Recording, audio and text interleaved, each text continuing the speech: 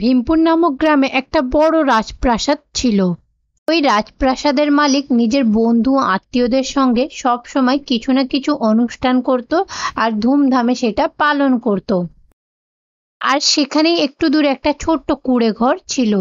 এই কুড়ে ঘরে সুজাতা নামে এক গরিব মহিলা থাকত। তার দুই সন্তান ছিল, বেবি আর ববি। সুজাতা যখন কোনো কাজ পেত তখনই সে কাজে যেত আর বাকি সময় সে বাড়িতেই বসে থাকত। আর সেদিন তাদের না খেয়েই থাকতে হতো।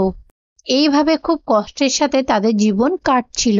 একদিন সুজাতা বাচ্চাদেরকে বলল, বাচ্চারা, তোমরা দুজনে বাড়িতেই থাকবে। আমি দেখছি যদি কোনো কাজ পাই, যদি কাজ পাই, সেই টাকা দিয়ে তোমাদের জন্য খাবারের কিছু নিয়ে আসব। এইরকম বলে সুজাতা বেরিয়ে গেল। বেবি আর ববি বাড়িতেই ছিল। আগে থেকেই বাচ্চারা আর তার মা দুদিন ধরে কিছুই খায়নি। তাদের মা আজকেই বাইরে গেল। বাচ্চা দুটো খুব আশা করে বাইরের দিকে তাকিয়ে তার মায়ের অপেক্ষা করছিল, কারণ যখন তার মা আসবে, কিছু না কিছু খাবার নিয়ে আসবে। অনেক দেরি হয়ে যায়, তাদের মা বাড়ি ফিরল। বাচ্চারা অনেক আশা নিয়ে তাদের মায়ের দিকে ছুটে গেল। মা, কিছু খাবার নিয়ে এসেছ? এইভাবে বাচ্চারা অনেক আশার সাথে জিজ্ঞাসা করল। তাদের মা চোখের জল ফেলতে ফেলতে নিজের খালি হাতটা দেখাল। বাচ্চারা এটা জেনে অনেক কষ্ট পেল। সেদিনের রাতটাও কেটে গেল। পরের দিন সকালে ওই রাজপ্রাসাদ থেকে ভালো ভালো খাবারের সুগন্ধ এলো। সেই গন্ধটা পাওয়ার পরে বাচ্চারা তাদের মা খুব খুশি হলো। তখন বাচ্চারা মায়ের দিকে তাকালো। মা, অনেক ভালো গন্ধ আসছে। আমরা এই গন্ধটা শুকে নিজেদের পেট ভরিয়ে নেব। বাচ্চারা এরকম বলল। এটা শুনে তাদের মায়ের অনেক কষ্ট হলো। সে ভগবান, তুমি আমাদের সঙ্গে এরকম কেন করলে? আজ যদি আমার স্বামী বেঁচে থাকতো, তাহলে এরকম দিন দেখতে হতো না। কোনো কাজ পাচ্ছি না, আর ভিক্ষা করতে ইচ্ছাও করে না। কেন করলে? এইরকম বলে তাদের মা অনেক কষ্ট পাচ্ছিল। মাকে এইভাবে দেখে বাচ্চারাও খুব কষ্ট পেল। মা, কেঁদো না মা। এইরকম বলে বাচ্চারা তার মায়ের চোখে জল মুছে দিল। বাচ্চারা, তোমরা এখানেই থাকো। আজকে যাই হয়ে যাক না কেন, আমি খাবার নিয়ে আসবই। এইরকম বলে সুজাতা সোজা বাইরে বেরিয়ে এলো। তারপর সে ওই রাজপ্রাসাদের পেছনে যেতে লাগল। সেখানে জঞ্জালের টপে বেঁচে যাওয়া খাবারগুলো পড়েছিল। সেই খাবারগুলো দেখে মা খুব খুশি হলো। সেখান থেকে সুজাতা খাবারগুলো জোগাড় করে নিয়ে একটা পলিথিনে করে নিয়ে বাড়ি গেল। মায়ের হাতে খাবারের প্লাস্টিক দেখে বাচ্চারা অনেক খুশি হলো। মা, তুমিও আমাদের সঙ্গে খাও। এইভাবে তারা তিনজনে খাবারগুলো খেলো। সেদিনের মতো তাদের তিনজনের পেটটা ভরে যায়। মা আজ আমরা পেট ভরে খাবারগুলো খেয়েছি। এইভাবে প্রত্যেকদিন না পেলেও চলবে। সপ্তাহে একবার হলেই সেটাই অনেক যথেষ্ট। এইভাবে বাচ্চারা বলল হ্যাঁ মা এবার থেকে রোজ আমাদের পেটটা ভরাই থাকবে। এইভাবে সুজাতা নিজের বাচ্চাদেরকে বলল। এইটা শুনে বাচ্চারাও অনেক খুশি হলো। ও তার মানে এবার থেকে আমাদের না খেয়ে শুতে হবে না? এইটা শুনে দুটোই বাচ্চা অনেক খুশি হলো। তারপরে কিছুক্ষণ সেখানে খেলা করার পরে ঘুমিয়ে পড়ল। আজ সত্যি আমি অনেক শান্তি পেয়েছি যে আমি আমার বাচ্চাদেরকে খাবার খেতে দিতে পারলাম। আজকে থেকে আর কিছুই ভাববো না। যখন কাজ পাবো তখন কাজ করব। আর যেদিনকে কাজ পাবো না, রাজপ্রাসাদের পেছনে যা বেঁচে যাওয়া খাবার পড়ে থাকবে সেইগুলো এনেই খাওয়াবো। আমি আর কি করতে পারি? একটা মা হিসাবে আমার যতটা করার ততটাই করব। এইরকম ভেবে মা খুব কষ্ট পেল। সেদিনের রাত কেটে যায়। পরের দিনও রাজপ্রাসাদে কোনো অনুষ্ঠান হচ্ছিল। সুজাতা সেখানে গিয়ে বেঁচে যাওয়া খাবারগুলো জোগাড় করে নিয়ে বাড়ি ফিরল। এইভাবে প্রত্যেক দিন রাজপ্রসাদে কিছু না কিছু অনুষ্ঠান হতো। প্রত্যেক দিন সুজাতা বেঁচে যাওয়া খাবারগুলো নিয়ে এসে বাড়িতে তিনজনে মিলে খেত। এইভাবে কিছুদিন কেটে যায়। হঠাৎ করে সেই রাজপ্রাসাদে অনুষ্ঠান হওয়া বন্ধ হয়ে গেল। এইভাবে পুরো তিন দিন কেটে যায়। তিন দিন না খেয়ে বাচ্চারা খিদের জ্বালায় অস্থির হয়ে পড়ে। আরে কি হলো? এই রাজপ্রাসাদে এখন অনুষ্ঠান কেন হচ্ছে না? আমি তো খাবারগুলো পেয়ে অনেক খুশি হয়েছিলাম। কিন্তু এখন তো দেখছি আবার আগের মতো অবস্থা হয়ে গেল। এইটা ভেবে সুজাতা অনেক কষ্ট পাচ্ছিল। সেদিন রাতও এইভাবেই কেটে গেল।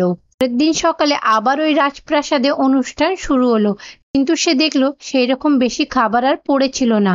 তখন সে বুঝতে পারছিল না সে কি করবে। সে বাচ্চাদের কথা ভেবে সে চুপি চুপি রাজপ্রাসাদে ঢুকে পড়ল।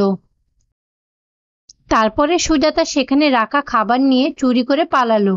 তার পিছু পিছু সিকিউরিটি গার্ডটাও দৌড়াতে লাগল। আরে ধরো ধরো ধরো ওকে বলছি। কিছু দূর পর্যন্ত ওই সিকিউরিটি গার্ড তার পিছু যেতে লাগল। তারপরে তাকে ধরে ফেলল।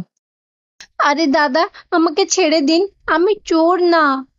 যদি তুমি চুরি না করে থাকো তাহলে দৌড়া দৌড়াচ্ছিলে কেন?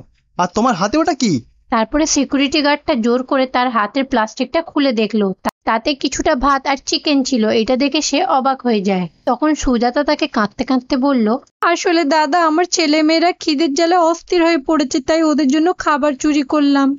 তারপর সে সব ঘটনা তাকে বলল। এটা শুনে সিকিউরিটি গার্ড খুব কষ্ট পেল। বোন মনে কষ্ট পেও না। এখানে কোনো না কোনো কাজ তুমি পেয়ে যাবে। মাসে দশ হাজার টাকা পাবে। সেই টাকা দিয়ে তুমি তোমার সন্তানের সাথে সুখে থাকতে পারবে। এইভাবে তাকে একটা কাজ দিল। এই কথাটা শুনে সুজাতা অনেক খুশি হলো। তারপর তার পায়ে ধরে তাকে প্রণাম করল। তারপর থেকেই সুজাতা কাজের জন্য যেতে লাগল। আর সেখান থেকে খাবার নিয়ে এসে বাচ্চাদের দিতে লাগল। এইভাবে তার মাসের মাইনে থেকে নিজের বাচ্চাদের নিয়ে সে খুব খুশি থাকতে লাগল।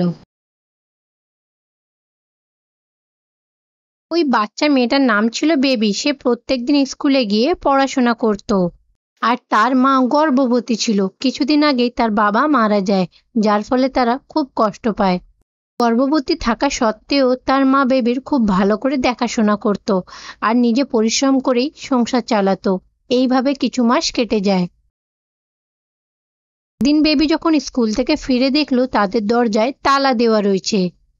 বেবি এটা দেখে একটু অবাক হয়ে যায়। আরে, এ কি? মা কি এখনও কাজ থেকে ফেরেনি? আরে, আমিও না। মা তো কাজে যায়নি। তাহলে মা এই সময় কোথায় গিয়েছে? এটা ভেবে সে মন খারাপ করে দাঁড়িয়েছিল। তখনই সেখানে এক বয়স্ক মহিলা আসে। আরে বেবি মা, তোমার মায়ের প্রসব যন্ত্রণা শুরু হয়ে গেছিল, তাই তাকে হাসপাতালে নিয়ে গেছে। এটা জানার পরে বেবি সঙ্গে সঙ্গে হাসপাতালে চলে যায়। হাসপাতালে গিয়ে বেবি চারিদিকে ঘুরপাক করে দেখছিল। তখন ডাক্তার তাকে দেখে, আরে মা, তুমি কে? আমার মায়ের নাম শান্তি। শুনেছি আমার মাকে নাকি এখানে ভর্তি করেছে। আরে মা, তোমার কি বাবা নেই? তখন বেবিও বলল, না। তাহলে কি তোমাদের কোনো আত্মীয় আছে? আমাদের তো সেরকম কোনো আত্মীয় স্বজন নেই, কিন্তু আপনি এটা কেন জিজ্ঞাসা করছেন? আর এইরকম জিজ্ঞাসা করার পরে ডাক্তার তাকে সঙ্গে করে নিয়ে তার মায়ের কাছে গেল। বেবি তার মাকে দেখে বলল, মা, তুমি কি ঘুমাচ্ছ? ও মা, একবার ওঠো না। মা? ততক্ষণে ডাক্তার সেখানে তার ভাইকে নিয়ে তার কাছে এলো।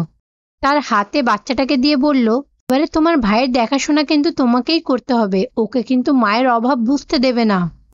ডাক্তারের এইরকম কথা শুনে অবাক হয়ে বেবি জিজ্ঞাসা করল, আমার মায়ের কি হয়েছে? মা?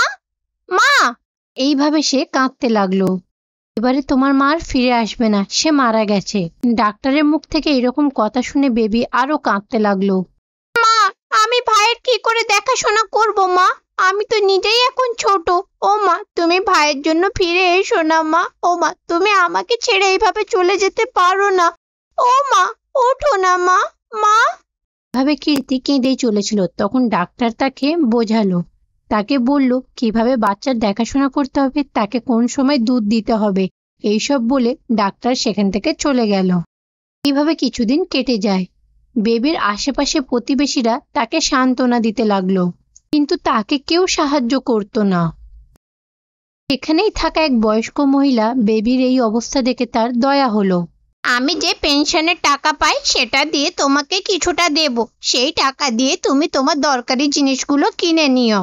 বেবি তখন কাঁদতে কাঁদতে বলল তোমাকে তো তোমার ছেলে ছেড়ে চলে গেছে আর আশেপাশের লোকেরাও তোমাকে সাহায্য করে না। এই রকম অবস্থায় তুমি আমাকে কেন সাহায্য করবে? আমি যেমন করে দিন কাটিয়ে নেব। তার জন্য তোমায় কষ্ট করতে হবে না, ঠাম্মি। বেবির এইরকম কথা শুনে বয়স্ক মহিলা বলল, আরে, এতে কষ্টের কি আছে, মা? লোককে তো লোকের সাহায্য করা দরকার। কিছু মাস ধরে ওই বয়স্ক মহিলা বেবিকে টাকা দিতে লাগল। সেই টাকাগুলো বেবি খুব বুঝে শুনে খরচা করত আর কিছুটা জমিয়ে রাখতো। কিছুদিন পরে বেবি সেই টাকা দিয়ে সমস্যার ব্যবসা শুরু করল। নিজের ভাইকে কোলে নিয়ে স্টেশনে দাঁড়িয়ে বেবি সমস্যা নিন, সমস্যা, গরম গরম সমস্যা। আসুন দাদা, আসুন দিদি, নিয়ে যান। এইভাবে সমস্যা বিক্রি করে কিছু টাকা সঞ্চয় করতে লাগল। সেই টাকা দিয়ে নিজের সংসার চালাতে লাগল। বয়স্ক মহিলা তাকে টাকা দিয়ে সাহায্য করেছিল, তার টাকাও ধীরে ধীরে শোধ করে দিল। তখন সে বয়স্ক মহিলা কষ্টের সাথে বলল, এত ছোট বয়সে, মা, তুমি অনেক কষ্ট করেছ। ভগবান যেন তোমাদের দুজনকে রক্ষা করে।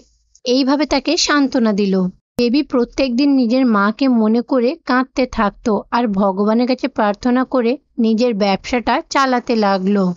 এইভাবে প্রত্যেক দিন সমস্যা বিক্রি করে যে টাকা উপার্জন হতো, সেই টাকা দিয়ে নিজের ভাইয়ের জন্য দুধ কিনে নিয়ে আসতো। এইভাবে নিজের ভাইয়ের খুব ভালো করে দেখাশোনা করতে করতে যেন মনে হলো সে তার মা হয়ে গেল। আর এইভাবে দেখাশোনা করতো আর এইভাবে নিজের সমস্যা বিক্রি করে জীবন কাটাচ্ছিল। এটা দেখে আশেপাশে লোকেরা বলতো, বেচারি বাচ্চা মেয়েটা এত কম বয়সে পাহাড়ের মতো কষ্ট দেখতে হলো।